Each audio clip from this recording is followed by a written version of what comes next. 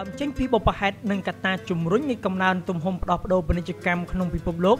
តាំងពីសម័យបុរាណរហូតដល់បច្ចុប្បន្នប្រព័ន្ធដឹកជញ្ជូនត្រូវបានមនុស្សធ្វើការអភិវឌ្ឍតាំងពីការផ្សំសត្វពាហនៈដើម្បីប្រើប្រាស់ក្នុងការដឹកជញ្ជូនកសិផលរបស់របរទំនិញនៃការដោះដូរជំនួញរហូតដល់ការស្រាវជ្រាវបង្កើតប្រព័ន្ធដឹកជញ្ជូនទំនើបទំនើបនាពេលបច្ចុប្បន្នដែលរួមមានដូចជារថយន្តនាវាត្រាច់ចរតាមមហាសមុទ្ររថភ្លើងនិងពិសេសយន្តហោះ ដែលជាយានអាចធ្វើដំណើរបានលឿននិងឆាប់រហ័សជាងគេ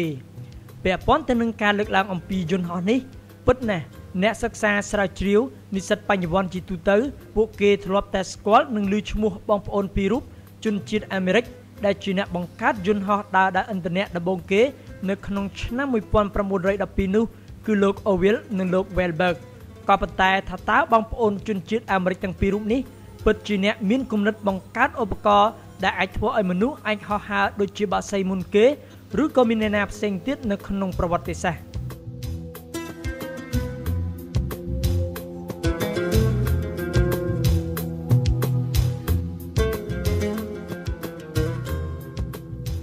ពិតណាស់អ្នកដែលបង្កើតយន្តហោះដែលមានតួម៉ាស៊ីនដើរដោយឥន្ធនៈដំបូងគេ គឺបងប្អូនជនជាតិអាមេរិកទាំងពីររូបប៉ុន្តែពួកគេមិនមែនជាអ្នកមានក្តីស្រមៃនិងបង្កើតឧបករណ៍ដែលធ្វើឲ្យមនុស្ស មានលទ្ធភាពហោះហើរដូចជាបាសាបាសីមុនគេនោះឡើយ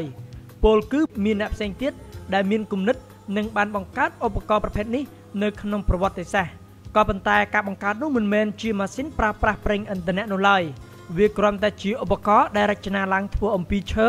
និងដេរគ្រប់ទៅដោយសាច់ក្រណាត់តែប៉ុណ្ណោះ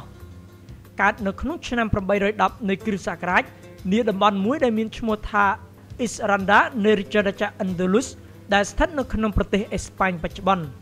Abbas ibn Farnas ជាអ្នកស្រាវជ្រាវជំនាញរូបវិទ្យានិងក៏ជាវិស្វករម្នាក់នៃអំឡុងសតវត្សទី9នៃសម័យកាលនោះ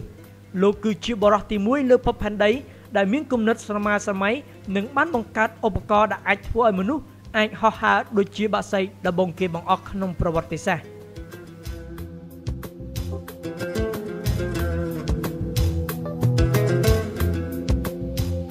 ប្រវត្តិរបស់ Abbas ibn Farnas ក្នុងជីវិតរបស់លោកលោកជាមនុស្សដែលមានលក្ខណៈចម្លែកខុសពីមនុស្សដទៃជារឿយៗក្នុងមួយថ្ងៃមួយថ្ងៃលោកតែងធ្វើដំណើរទៅទីវាលហើយលោកងាកសម្លឹងមើលទៅលើមេឃនិងធ្វើការសង្កេតនៅការហោះហើរឡើងចុះនៃបាសាបាសីនៅក្នុងឆ្នាំ875នៃគ្រិស្តសករាជនាពេលដែលលោកមានអាយុ70ឆ្នាំលោកបានសម្រេចចិត្តគូសប្លង់និងបង្កើតឧបករណ៍ហោះហើរមួយប្រភេទ ដែលមានលក្ខណៈដូចស្លាបទាំងពីររបស់បក្សីផលិតឡើងអំពីឈើនិងគ្របដោយសាច់ក្រណាត់សូត្រក្រោយពីការសម្រេចនឹងការបង្កើតឧបករណ៍ហោះហើរនោះលោកមិនបានឲ្យអ្នកណាផ្សេងទៀតធ្វើការសាកល្បងហោះហើរជាមួយនឹងឧបករណ៍ដែលលោកទើបតែផលិតនោះទេក៏ប៉ុន្តែលោកបានសម្រេចចិត្តសាកល្បងឧបករណ៍នោះដោយខ្លួនឯង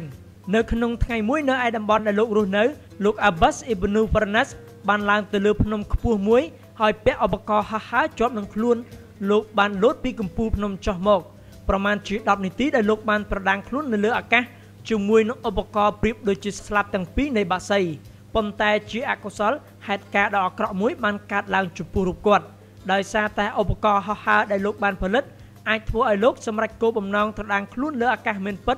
ក៏ប៉ុន្តែលោកមិនអាចបញ្ជាវានៅពេលដែលរៀបចុះដល់ដីហេតុការណ៍នេះធ្វើឲ្យលោករងរបួសយ៉ាងខ្លាំងក្រោយហេតុការណ៍នេះជាង11ឆ្នាំលោក Abbas បានទទួលមរណភាព នៅឆ្នាំ887នៃគ្រិស្តសករាជតែទោះបីជាយ៉ាងដូចនេះក៏ដោយចុះក្នុងអំឡុងពេលដែលលោករស់រានមានជីវិតនៅក្នុងដំណាក់កាល11ឆ្នាំចុងក្រោយរបស់លោកពុំមាននរណាម្នាក់ហ៊ានសាកល្បងហោះហើរពីកំពូលភ្នំដោយរូបលោកនោះឡើយតតែនៅក្នុងឆ្នាំ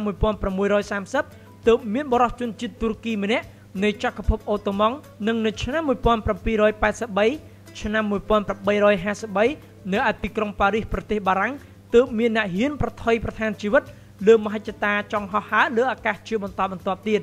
រហូតដល់ឆ្នាំ1912ទើបមហិច្ឆតាត្រដាងខ្លួនលើអាកាសរបស់មនុស្សបានសម្រេចទាំងស្រុងដោយស្នាដៃនៃបងប្អូនជនជាតិអាមេរិកពីររូបដែលបង្កើតយន្តហោះមួយអាចហោះហើរនិងអាចបញ្ជានៅពេលចុះដល់ដីដោយសុវត្ថិភាពដូច្នេះពលគឺមានរយៈកាលជាង10សតវត្សក្រោយពី Abbas ibn Farnas ទើបមានមនុស្សអាចបង្កើតបាននៅយន្តហោះ ដែលអាចធ្វើដំណើរនៅលើអាកាសបានយ៉ាងជោគជ័យ។